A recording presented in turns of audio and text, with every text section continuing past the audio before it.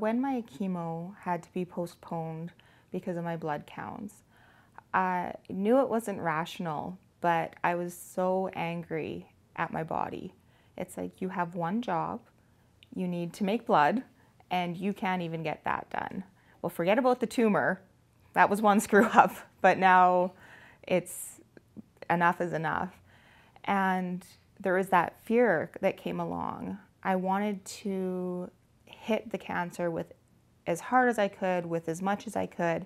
And again, it's not really rational to think that, oh, a month postponement is going to make this massive difference.